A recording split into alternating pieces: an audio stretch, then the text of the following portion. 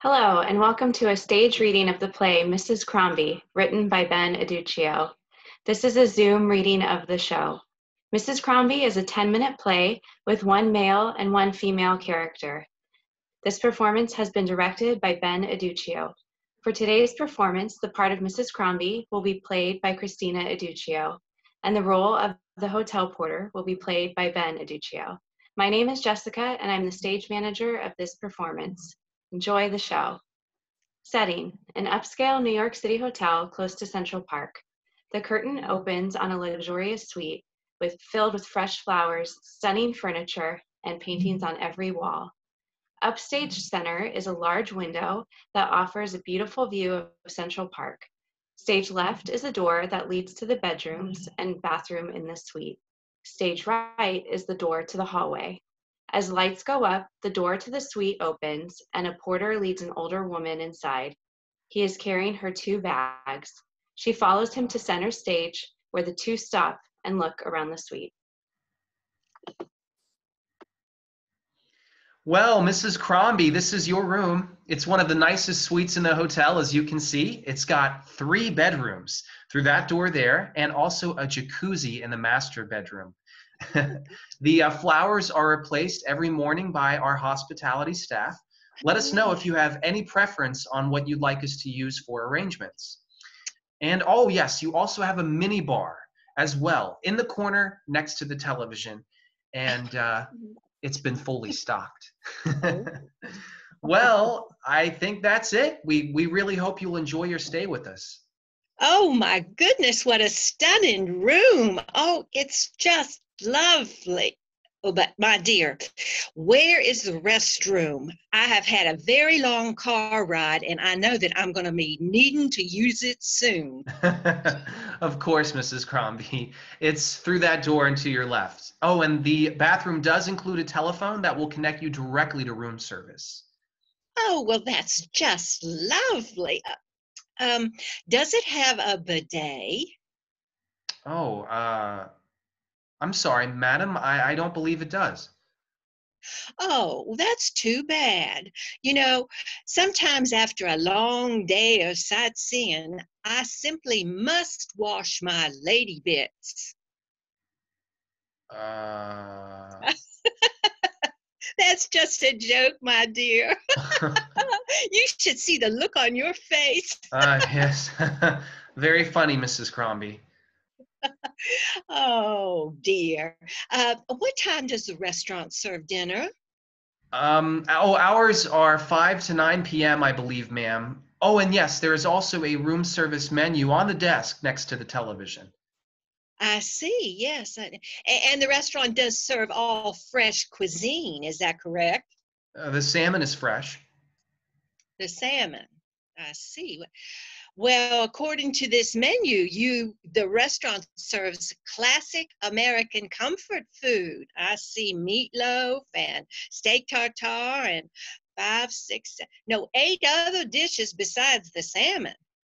That that's correct. And they are fresh. I believe they were fresh, madam, before they were frozen frozen. Oh, my dear, no, I don't care for frozen food. Mm-mm, no. I watch kitchen nightmares. I see, madam. Oh dear, I would much rather jump out of your lovely window here than eat a frozen piece of dried meatloaf. then I suggest, Mrs. Cromby, you don't eat the meatloaf. As I said, the salmon is fresh and delicious. Well, we'll see about that. Now tell me, dear, is this a very nice view? I mean, it looks like it's a lovely view. Yes, it's the very best in New York City, ma'am. And what's that big green thing? That's that's Central Park, ma'am. Oh, well, that's just lovely, dear. uh, now, uh, where's the minibar? Oh, it's it's again in the corner, madam, next to the television. Oh, I see. And and does it have the ingredients for a fresh gin and tonic?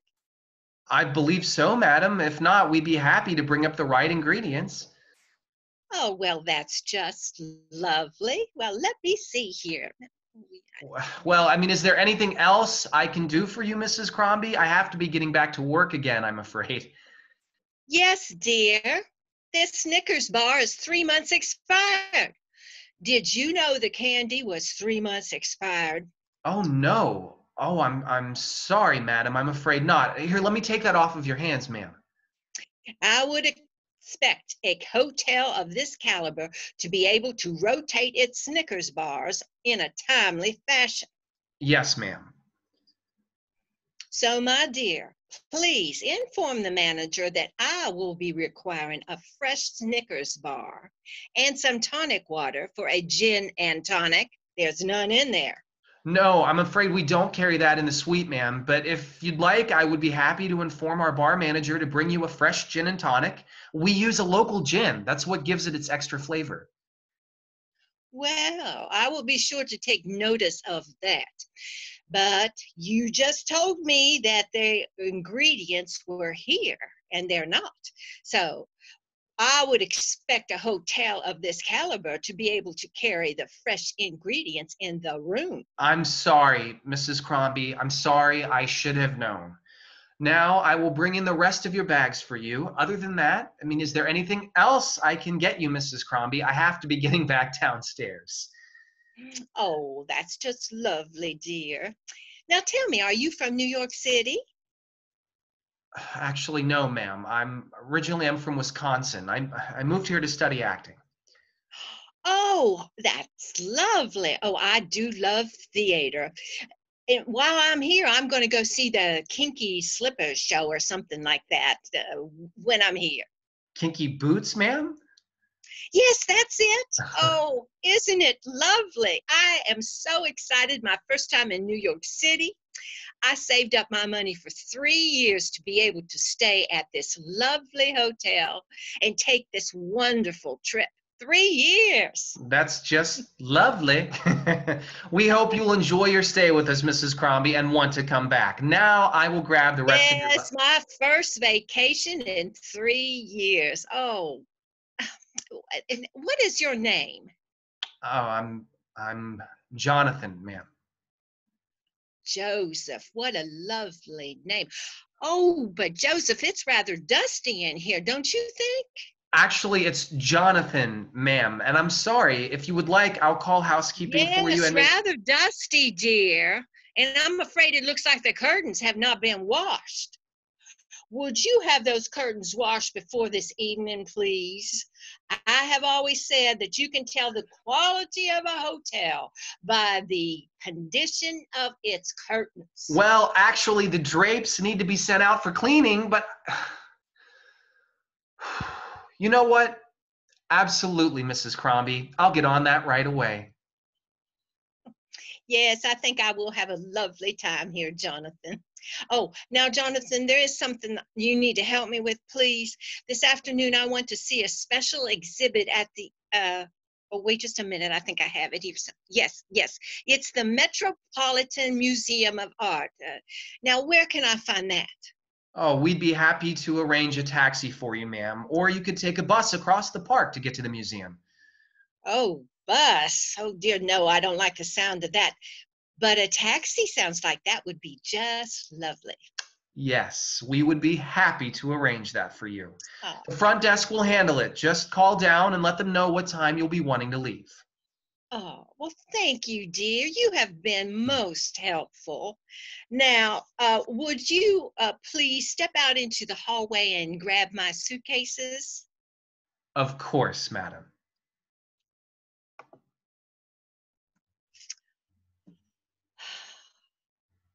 Hmm.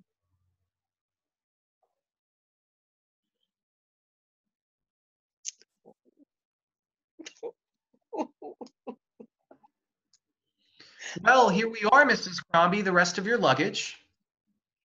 Oh, uh, thank you, Jonathan. Is everything all right, ma'am? Oh, I, I'm sorry, dear. It's just, What is it, Mrs. Cromby? oh, it's just that this is the first time I've ever left home since my husband passed away. Simon. Oh, he was such a lovely man. 45 years of marriage. 45 years of marriage we spent together in North Carolina. Oh, I'm I'm so sorry, ma'am. I, I saved up for this trip ever since the day he died. We spent so many years taking trips together, RV and all over the country. But we never made it to New York City. He always wanted to see Grant's tomb. Hmm. he, he was a big fan of that Gary Cooper movie where he goes to visit Grant's tomb. I'm I'm sorry, madam. I, I don't believe I've seen it. Oh, oh, you'd like it, dear. It's an oldie but a goodie. Anyway, we always wanted to come here together, but we just never did. In all those years, something would always come up, like a problem with the kids or his job or health complication with my mother. Mm. And when she died, came the cancer, his prostate. Another four years of doctor's appointments and, and long nights staying in the hospital. And so many conversations talking about what we'd do when he'd beaten it. But he never did.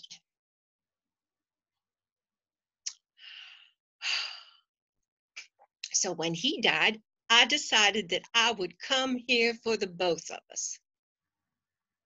That's that's a sweet story, ma'am. Thank you, dear. And now our dream finally came true.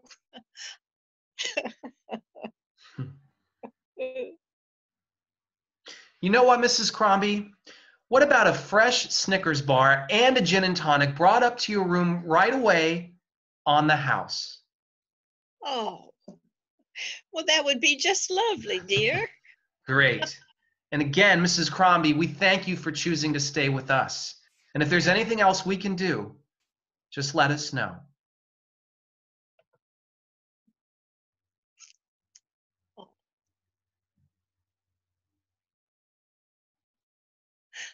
Yes, this is just lovely.